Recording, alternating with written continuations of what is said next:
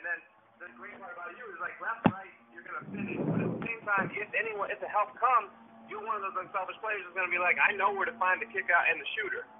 And as a matter of fact, and, and then by the way, you can shoot the ball. So that's another thing. So it's kind of crazy. You're you're actually a true essence of what triple threat means. So as a player, as a player, we kind of want you to be a star. You are now about to witness the strength of street knowledge. All these bands busting out my pocket, I can't hide it. Fuck that, bitch, I got them, they can't doubt it. 40 on me, it's a rocket, you can't stop it. Run up on me, I'ma pop it. Please don't try it. All these niggas hating on me, cause I got my bands niggas don't win, I'ma try his song. Just know I can't stand ya. My childhood was like, it was kind of, I'm gonna say, it was kind of adventurous. Like it was, it was, it was hard. Like growing up in Southwest.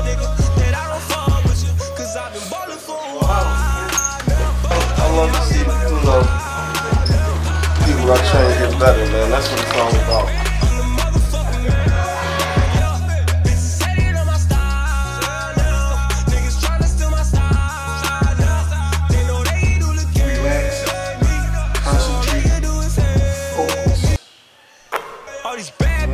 Relax,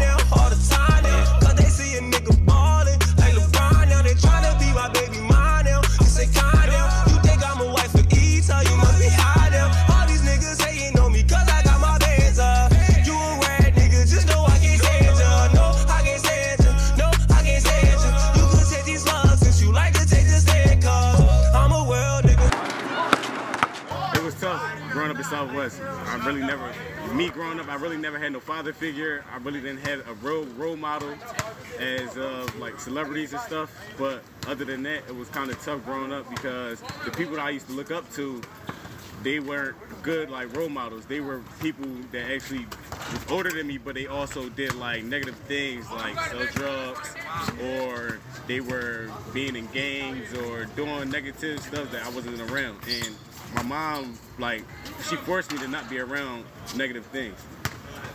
So uh, it was kind of tough growing up, especially because I was barely around my dad like that, and I was barely around the rest of my older brothers because they was either over my father's house or my oldest brother.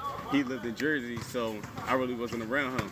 And my other brother that I, I used to live with, he was barely around because he was always older than me, and he always used to he used to be able to go off the block, and my mom used to force me to stay on the block all the time and be around the kids that were around my age.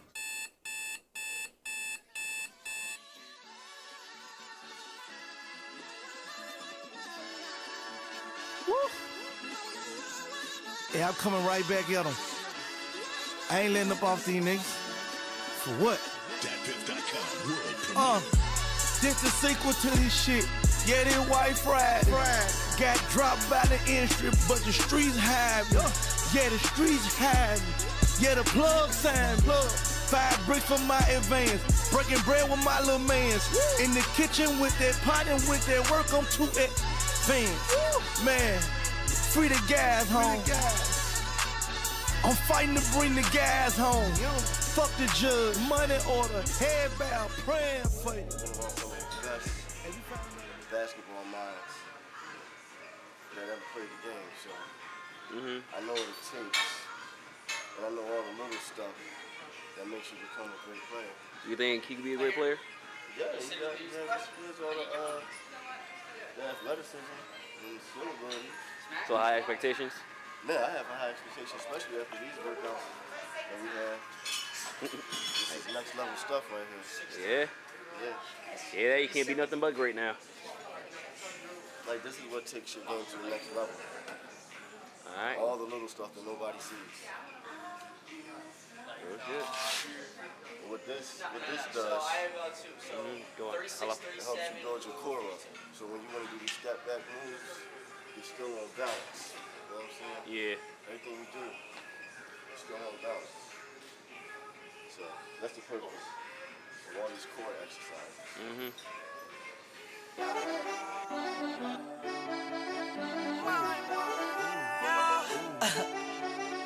Yeah, I ain't gonna lie. It's song right here, Slick Hey.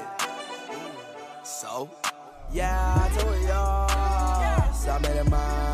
Yeah, I told y'all, yeah. so I made it mine. Jump in the bar, rather than not. I change a lot, now you gon'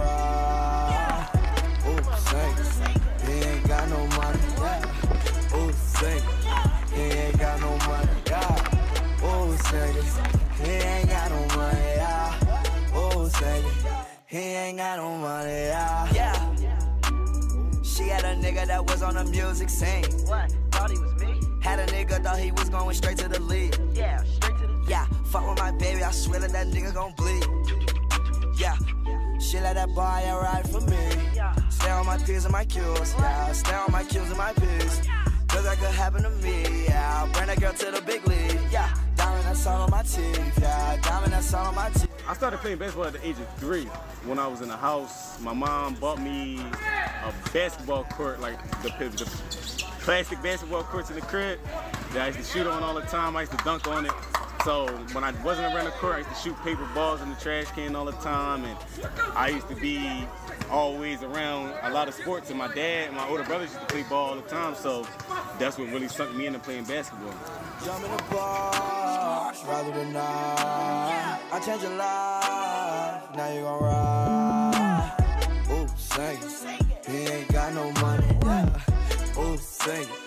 He ain't got no money, yeah. Ooh, sing. He ain't got no money, yeah. Ooh, sing. He ain't got no money, yeah. yeah, yeah,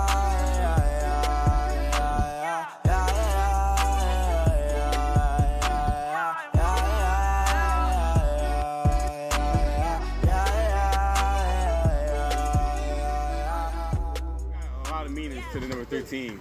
First of all, I'm the youngest person. I'm the youngest brother on both sides of my family. I'm the youngest brother on my mom's side and my dad's side. I'm the first.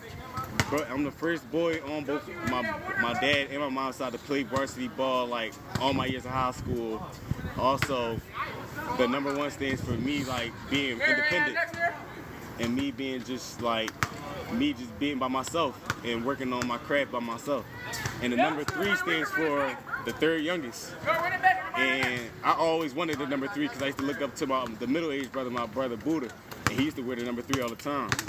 And then what really stuck out to me was around the time my grandma passed away. Uh, it was around my junior year, I think. And my coach felt as though I should keep the number 13, just a reminder of her, because that was the last number I wore as a varsity player at Orton Reed. So I just kept that number.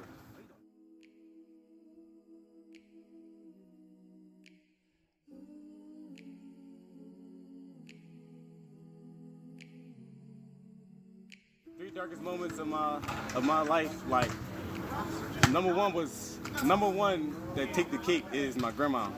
Uh, I was 16 when my grandma passed away. I was home. Well, I was at my aunt's house and I was told late that my grandma was in the hospital or whatever, and like she was on her deathbed. And when I got to the hospital, I got to the hospital pretty late. I got to the hospital. I got to the hospital at 5:55, and she passed away at 5:52. So I felt some type of way. Um, and I really didn't know how to like handle it at that point in time. So that's what really like affected me a lot, affected my game and affected everything about me. So I just felt as though I need to keep playing for her. Uh, the second darkest moment was October 12th, 2016, when um, I found out. No, I actually found out October 13th, 12 o'clock that night, that my uh, one of my friends got killed. One of my friends, Celine. Celine was like, he was just like me. He was goofy, funny, play around all the time, played ball, well, not as much as me, but he played ball. And it was kind of like tough growing up. Like you see somebody you grow up with all the time, and whereas though you don't see him no more. And you made so many memories with him to whereas though this person is not there no more. So when I found out that, I was just like in pain and I didn't know what to do. And the last, the last darkest moment was like me growing up and me not being able to have like remember like special moments with like my father, my older brothers and stuff. That's one of my darkest moments, and I feel as though that if I play good in ball and I play play pretty good in college, I feel as though I could be able to bring my family in together for them to start spending time with me and start spending time like making time for me to uh, making time for them to come to my games or whatever and come watch me play ball.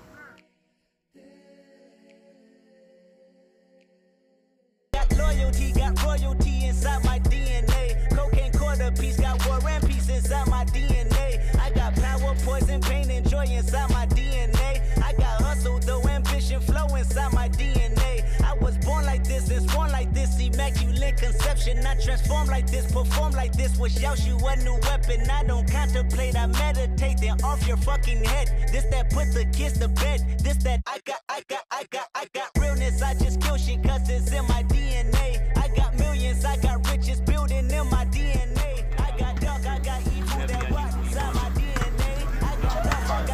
No, not really. Not yet. I got a good idea, but not yet. Him again. The sound the engine in is like a bird. You see fireworks and Corvette tires skirt the boulevard. I know how you work. I know just who you are.